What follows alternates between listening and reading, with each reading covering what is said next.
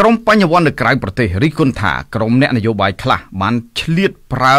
និងលើកទឹកចិត្តដល់បពុរបស់ខ្លួនឲ្យសាព្រោះមនោគមវិជ្ជានៃការលៀបពណ៌ជេរប្រមាថទម្លាក់តម្លៃអ្នកដទៃស្មើទៅនឹងសត្វដែលជាអំពើអគុណធម៌ហើយកំពុងញោមញីតម្លៃគុណធម៌និងសិលធម៌របស់ខ្មែរឲ្យធ្លាក់ចុះគួរឲ្យព្រួយបារម្ភជាខ្លាំងអនុប្រធានប្រតិបត្តិនៃចលនានិស្សិតដើម្បីលទ្ធិប្រជាធិបតេយ្យលោកអៀបសេងបានបង្ហោះសារនៅលើកណនី Facebook របស់លោកនៅថ្ងៃទី11ខែធ្នូនេះថាការលៀបពណ៌ការជេរប្រមាថការបន្ថោកតម្លៃពលរដ្ឋដោយប្រៀបប្រដូចទៅនឹងសត្វធាតជាដើមហេតុដ៏ចម្បងដែលធ្វើឲ្យមនុស្សអាចកាប់សម្លាប់គ្នាដោយគ្រាន់តែគិតថាជាការសម្លាប់សត្វតែប៉ុណ្ណោះលោកប្រមានថាការប្រមាថជីវិតមនុស្សស្មើទៅនឹងសត្វធាតរបស់អ្នកនយោបាយខ្មែរអាចខ្លាយទៅជាភ្លើងកំហឹងនាំឲ្យកើតមានអំពើអุกក្រិតកម្មប្រល័យពូជសាសន៍ឬអាចបណ្ដាលឲ្យមានការបែកបាក់ឯកភាពជាតិនិងសោកនាដកម្មដល់ពលរដ្ឋជាតិខ្មែរទាំងមូលទៅថ្ងៃអនាគតនៅពេលដែលអ្នកនយោបាយរូបនោះឡើងកាន់អំណាចលោកអៀបសេងលើកឡើងថាអุกក្រិតកម្មប្រល័យពូជសាសន៍ដ៏ឃោឃៅដែលបានកើតឡើងនៅក្នុងសម័យខ្មែរក្រហមគឺបណ្ដាលមកពីការបាត់បង់នូវក្រមសីលធម៌និងការប្រមាថជីវិតមនុស្សដូចជាសត្វធាតុជាដើមជាងនេះទៅទៀតអាយុជីវិតពលរដ្ឋខ្មែរជាង2លាននាក់ត្រូវបានកាប់សម្លាប់យ៉ាងរង្គាលក្រោម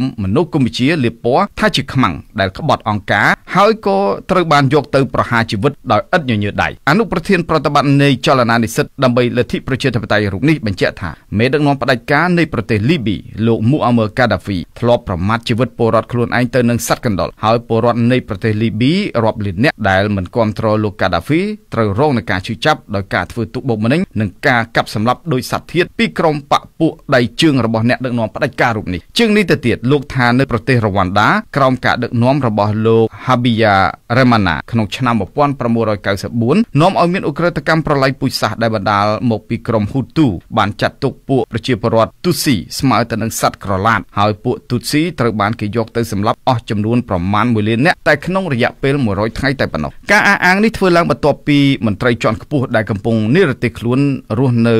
ក្នុងសហរដ្ឋអាមេរិកគឺលោកឡុងរីបានបង្ហោះសារនៅលើគណនី Facebook របស់លោកកាលពីថ្ងៃទី4ខែធ្នូឆ្នាំ2020នេះថាបើមានសត្វខ្លះចង់រស់ក្នុងឋានៈជាសត្វមួយជីវិតនោះគឺជារឿងរបស់គេប៉ុន្តែបើយើងជាមនុស្សនិងជាកូនខ្មែរយើងត្រូវតែរួមកម្លាំងគ្នាដើម្បីស្ដារប្រទេសកម្ពុជាឡើងវិញតើទន្ទឹមនឹងបញ្ហានេះប្រធានក្រុមប្រឹក្សាឃ្លាំមើលកម្ពុជាលោកម៉ែនណាតបានថ្កោលទោសអតីតសមាជិកសភាគណៈបក្សសង្គ្រោះជាតិលោកឡុងរីភាគីលោកសំរងស៊ីដែលបានប្រដូចអ្នកមិនគ្រប់គ្រងក្រុមរបស់ខ្លួនទៅនឹងសត្វធាតុនោះថាជាការប្រមាថយ៉ាងធ្ងន់ធ្ងរដែលមិនអាចអធិស្ឋានឲ្យបានក្នុងនាមជាមនុស្សជាតិដូចគ្នា ជាងនេះទៅទៀតលោកម៉ែនណាទាមទារឲ្យមន្ត្រីជាន់ខ្ពស់អតីតប្រឆាំងរូបនេះសុំទោសប្រជាពលរដ្ឋខ្មែរជាសាធារណៈដើម្បីបង្ហាញការទទួលខុសត្រូវនៅកំហុសខុសឆ្គងរបស់ខ្លួនដែលបានប្រព្រឹត្តចំណែកមន្ត្រីជាន់ខ្ពស់ការពារសិទ្ធិមនុស្សអាត6លោកសង្សានករណាបានសរសេរនៅក្នុងបណ្ដាញសង្គម Facebook របស់លោកថាជីវិតមនុស្សពិតជាមិនទៀងទាត់នោះទេដូច្នេះមនុស្សគួរគប្បីប្រព្រឹត្តតែអំពើល្អជាកុសលបន្សល់ទុកនូវគុណតម្លៃសេចក្តីល្អ